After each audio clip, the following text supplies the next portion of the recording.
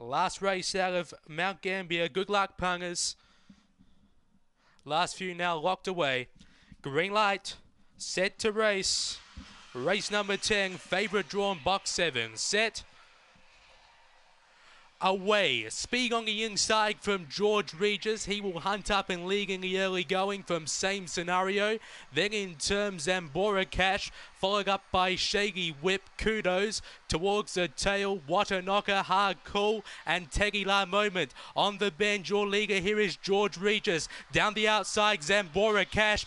George Regis all the way. Beats home Zambora Cash. Third, either same scenario or Shaggy Whip. Then in term what a knocker, Tequila moment. Kudos. And last of all, hard cool.